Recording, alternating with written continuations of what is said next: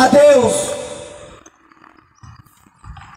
Porque prefere estar servindo o mundo. Porque o mundo tem muitas coisas para dar. Aleluias. Não querem deixar, que nem já temos, temos ouvido, a prostituição, o adultério, para servir a Jesus. Não querem, preferem estar fazendo coisas agradáveis aos olhos do Senhor. Amados ouvintes da palavra de Deus, nessa tarde, nós não viemos aqui não foi porque nós queríamos vir, foi porque Jesus nos mandou para alertar você. Saia do vício, saia da prostituição. Jesus está voltando. Aleluia. Jesus essa tarde está ali alertando para você sair do pecado. Deixe o pecado. Aleluia. Aleluia. Se fosse uma banda de música do mundo, estivesse aqui tocando, estava cheio de pessoas para ouvir as coisas mudando. Mas como é a palavra de Deus, o povo rejeita. Lembre-se que Jesus diz: Quem me rejeitará, eu rejeitarei naquele grande dia. Não pensem que Jesus não está vendo. Não pense que Jesus não está ouvindo. Ele vê e ouve. Porque ele não é estalta que fica pregado na parede, não. Não. Ele está aqui nessa tarde. Ele está aonde você está nessa tarde, abrindo seus ouvidos para que você venha crer na sua palavra, na palavra de Deus. Amados ouvintes, em nome de Jesus, foi Ele que entregou a sua vida. Não foi o pastor, não. Não foi o padre, não. É, Jesus. Foi Jesus de Nazaré que entregou a sua vida por cada um de nós. Nessa tarde, em nome de Jesus, nós queremos forçar ainda mais a mensagem e de dizer que Jesus está voltando. Te prepara, te alerta, te conserta porque só vai subir, só vai aos céus aqueles que realmente adoram Ele, em espírito e em verdade. Aleluia. Aqueles louvados seja o nome do Senhor, que reconhece que Ele é o único que tem o poder de salvar a humanidade, o único que pode perdoar pecados. Porque o homem não pode, mas Jesus pode. Nessa tarde, em nome de Jesus, aonde você estiver, drobe o seu joelho e aceite a Jesus, porque breve Ele está voltando, frecheiras. Aleluia. Louvado seja o nome santo do Senhor. Aleluia. Breve Jesus está voltando. Deus ele manda o seu servo para dizer Glória a Deus. Aquela nação que é Frecheiras morre. Que Deus cidade, ó. Está para destruir, para acabar. Porque aquele povo estava desobedecendo a palavra. Não estava obedecendo a palavra de Deus. Queria viver de todo jeito, se prostituindo, aleluias. E Deus mandou a que anunciasse Porque o que o povo estava fazendo estava tirando mal às narinas do Senhor. E Deus mandou Noé alertar aquela nação. Mas o povo não queriam, não quiseram, não deram ouvido. Mas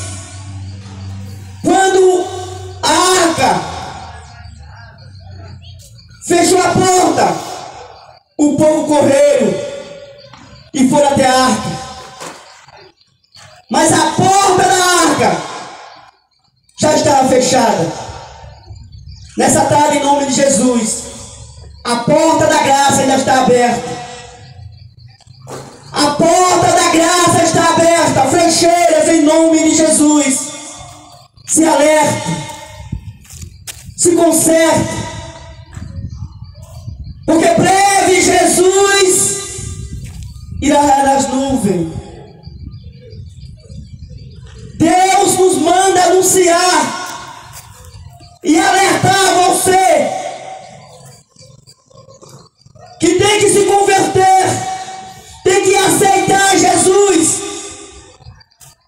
para ter um encontro com o vosso Deus, o nosso Pai Criador, que está lá nos céus, quem fez tudo isto aqui, quem formou o homem, compartilhou do seu fogo de vida para nos dar. E o homem não faz caso disto. Com fogo a quem Deus compartilhou, não sabe ele que em qualquer momento Deus pode requerer este fogo. E aonde você irá parar? Será que você vai estar no seio de Abraão, descansando? Ou aonde será? Não precisa nem falar, porque vocês sabem. A própria palavra, ela nos diz. Então que nessa tarde, em nome de Jesus, que vocês venham se alertar, que vocês venham se consertarem. Nós queremos agradecer a Deus por Deus nos dar essa oportunidade de estarmos aqui para anunciar o seu Evangelho. Um Evangelho sincero, sem mentira, sem falsidade, sem enrolância. Esse é o Evangelho de Jesus, a quem nós viemos aqui pregar. Não pregar a placa de igreja, não. Nós vamos pregar a palavra de Jesus. Porque nós temos aqui para falar de ministério, temos aqui para falar de Jesus. E dizer a você: não procure ministério, não procure a Jesus, porque é Jesus de Nazaré quem salva. Não é o ministério, não é o pastor, não, é Jesus de Nazaré. Então que nessa tarde, em nome de Jesus, que Deus o abençoe a cada um de vocês dessa cidade. E que Deus tenha misericórdia e dê outras oportunidades a vocês porque não sabemos a hora nem o dia que Jesus vai nas nuvens. Sabemos que não sabemos nem o dia nem a hora, mas sabemos que qualquer momento ele pode raiar. E estamos vendo os acontecimentos que estão surgindo. E pela Bíblia, estamos perto, muito próximo, que Jesus irá raiar nas nuvens. Então queremos agradecer em nome de Jesus. Que Jesus abençoe e dê outras oportunidades em nome de Jesus. Glória a Deus. Nós, nós não representamos nenhuma igreja evangélica. Nós não representamos nenhuma denominação, porque nenhuma delas pode salvar. Eu vou ler a palavra para você, a palavra de Deus, que está escrito no livro de Êxodo, você que tem uma Bíblia na tua casa, leia Êxodo capítulo 20. Êxodo capítulo 20.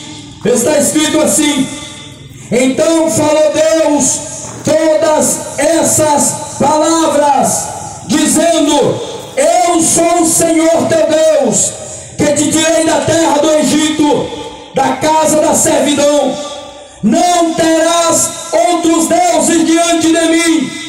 Não farás para ti imagem de escultura, nem alguma semelhança do que está acima dos céus, nem debaixo da terra, nem nas águas debaixo da terra. Não te curvarás a elas, nem a elas servirás, porque eu, Senhor teu Deus, sou Deus zeloso, que visito a maldade dos pais e dos filhos até a terceira e a quarta geração daqueles que me aborrecem. Honra teu pai e tua mãe, para que te prolongue os dias na terra que o Senhor teu Deus te dá. Não matarás, não furtarás, não derás falso testemunho, não cobiçarás a casa do teu próximo, não cobiçarás a mulher do teu próximo. Louvado seja Deus, essas são as palavras de Deus. Eu quero deixar também para você a palavra de Deus que está escrito no livro de Apocalipse, livro de Apocalipse, capítulo 20, versículo 11 a seguir, diz assim: Eu vi um grande trono branco, e o que estava sentado sobre ele, de cuja presença fugiu a terra e o céu, e não se achou lugar para eles, e vi os mortos, grandes e pequenos, que estavam diante do trono, e abriu-se os livros, e abriu-se outro livro, que é o da vida, e os mortos foram julgados pelas coisas que estavam escritas nos livros, segundo as suas obras. E aquele que não foi achado escrito no livro da vida foi lançado no lago de fogo. Salvação não é para quem é evangélico, salvação não é para quem é católico ou de qualquer religião. Religião não pode salvar a sua alma. Quem salva o homem é Jesus através da obediência aos mandamentos de Jesus. Não pode adorar imagem de escultura, disse Deus através da Bíblia. Só existe um intermediador entre Deus e os homens, Jesus. Maria não pode fazer nada por você. Só existe um Deus. Deus não tem mãe. Deus é o Criador. Ele é o Eterno. E enviou Jesus para abrir a oportunidade para você se esforçar, deixar a cachaça, deixar a prostituição, deixar a maconha, deixar as coisas que esse mundo aí te oferece. Aproveita o tempo e busca Deus, porque o tempo está acabando. No dia do juízo de Deus, Deus não vai perguntar de que religião você era. Vai perguntar? Não vai. Deus não vai perguntar, os católicos ficam do lado direito, os evangélicos ficam ali, os espíritas ficam naquele lado, os que não acreditam em Deus ficam do outro. Não. A Bíblia diz que diante do trono de Deus, Deus vai separar as pessoas como um pastor separa as ovelhas dos bodes. E naquele grande dia, Deus vai dizer, Deus vai separar as pessoas em dois grupos. Só existe duas, dois tipos de pessoas. Só existe dois tipos de pessoas para Deus. Sabe qual é? Você está achando que é aquele que é evangélico, ou que é católico, ou que da, do, da igreja grande, ou da igreja pequenininha? Não. Essas religiões todas aí, ó, é tudo empresa. É somente título aqui na terra. Para Deus não serve nada. O que serve para Deus é coração arrependido e obediente aos mandamentos de Jesus. Na, no dia diante do juízo de Deus, Deus vai separar dois grupos de pessoas. Os que estiverem à sua direita, vai dizer: Vinde benditos de meu Pai, possuí por herança o reino que foi preparado desde a geração do mundo, o princípio do mundo. E vai dizer àqueles que estiveram à sua esquerda: Apartai-vos de mim, malditos, que eu não vos conheço. E vão dizer: Vão dizer, como assim, Senhor? Como assim o Senhor não me conhece? No teu nome eu não preguei, no teu nome eu não profetizei, no teu nome eu não curei, no teu nome eu não ia para a igreja todo domingo. Ah, não se engane, meu amigo. Religião é coisa de homem. Você precisa ler a Bíblia e pedir o Espírito Santo que te revele. Deus não vai salvar os religiosos. Deus vai salvar pela sua graça, misericórdia e sua obediência. Ah, irmão, eu, eu posso fazer o que quiser, no final eu peço perdão e eu vou ser salvo pela graça. Você não vai ser salvo pela graça. Você vai ser salvo porque Jesus abriu uma oportunidade de salvação, porque ele morreu na cruz e por causa das suas obras de obediência. Sabe por quê? Porque se você viver adorando imagens de escultura, tu vai para o inferno. A Bíblia diz que não pode. Se você viver na cachaça, no adultério, você vai para o inferno. É a Bíblia que diz. É a Bíblia que diz. Mas se você largar tudo isso, se apegar a Jesus e se esforçar a obedecer, você terá salvação. Mas o mundo odeia a verdade, não gosta, gosta, aleluia, da mentira. Quer ser liberto? Procura Jesus. Onde é que você vai achar Jesus? Você vai achar Jesus numa roda de bar? Você vai achar Jesus dentro de um cabaré? Você vai achar Jesus na balada? Você vai achar Jesus numa roda de jogo? Não vai.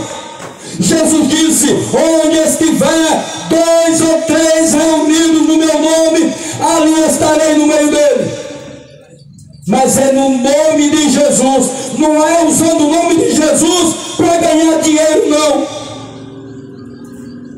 Porque o que tem de pastor aí, e padre, todas essas religiões aí, usando o nome de Deus para ganhar dinheiro.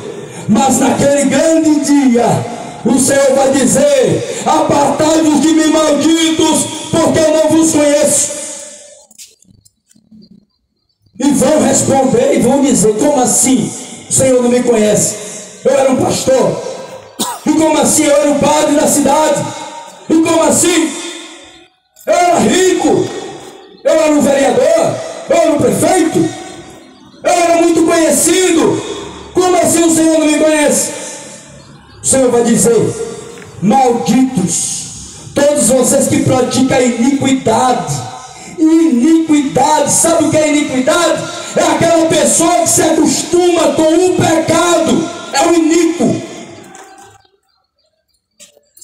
Mas vou dizer, eu falava o teu nome. Tem muita gente se enganando. Ah, ah, eu estou falando o nome de Deus, dá para mim. A mesma imagem de escultura que tem dentro da igreja católica, a mesma imagem está lá dentro do centro de Macumba. É a mesma imagem. Estão falando em Deus, mas Deus não está lá.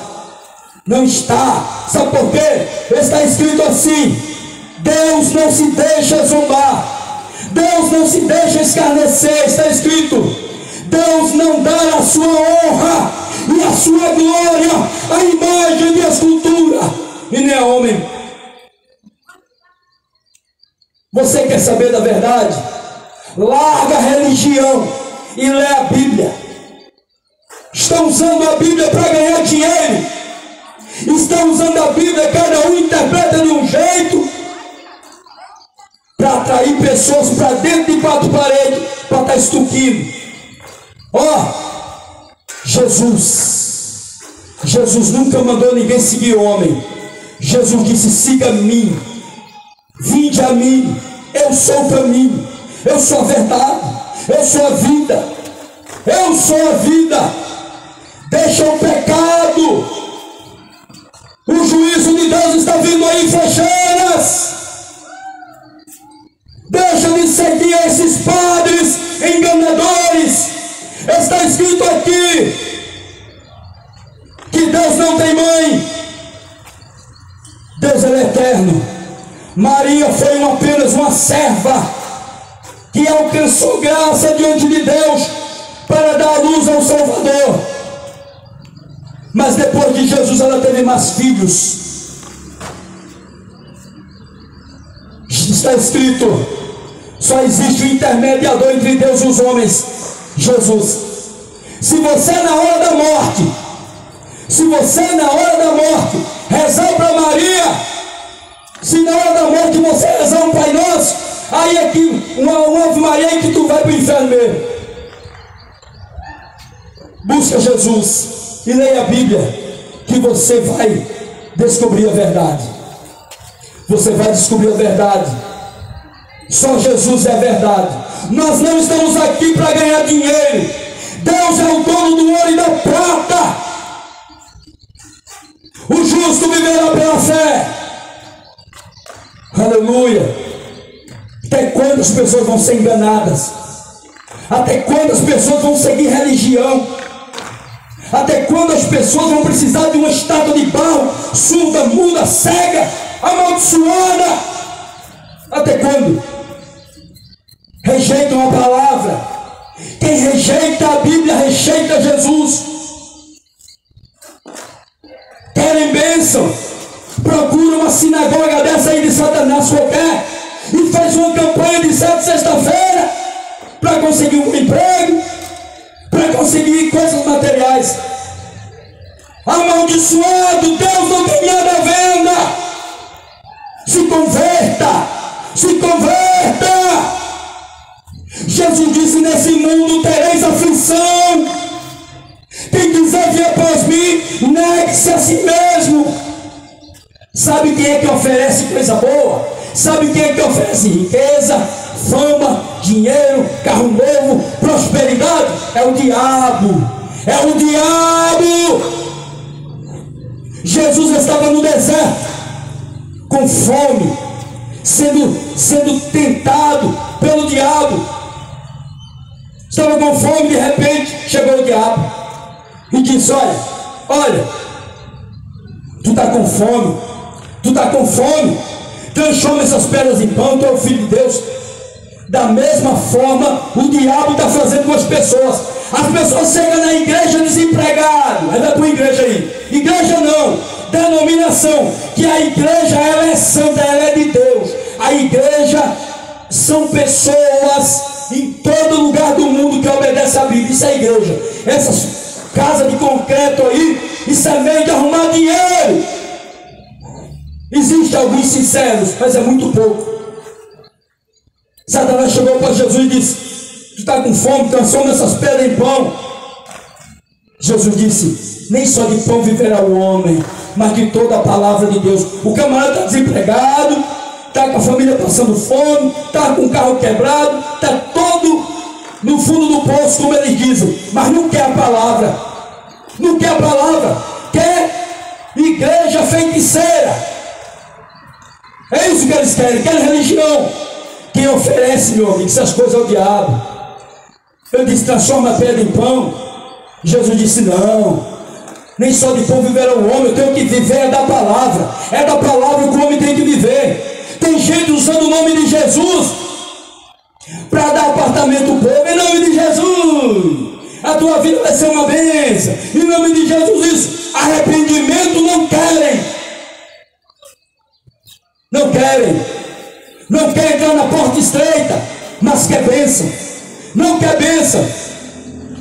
O diabo chegou para Jesus e disse: Olha, está vendo os reinos do mundo, está vendo a riqueza do mundo, está vendo a glória do mundo, está vendo a riqueza do mundo, tudo isso eu te dou, Jesus. Se tu se prostrar e me adorar, é isso que o diabo está dando para o povo. É prosperidade. O povo está sendo comprado pelo diabo, porque é idólatra. Sai da idolatria da igreja católica e vai para a idolatria da igreja evangélica.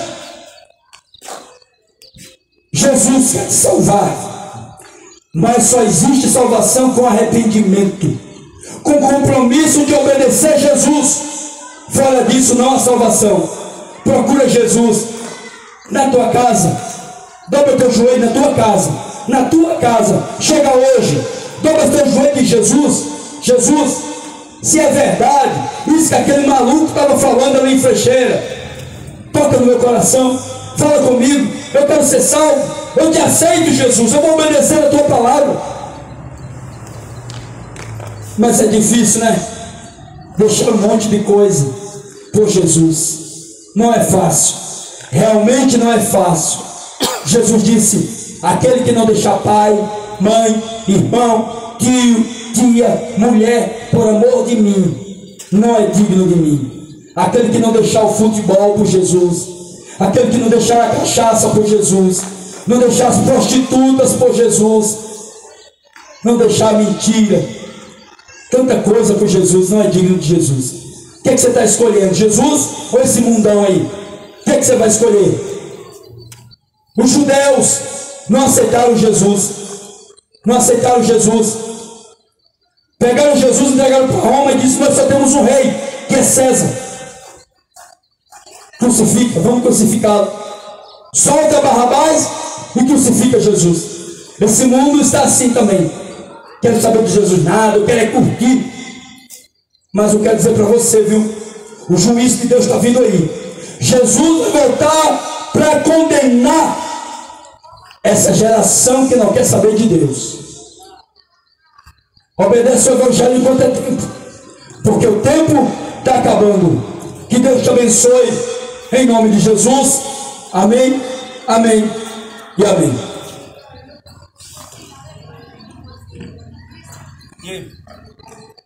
Glória a Deus.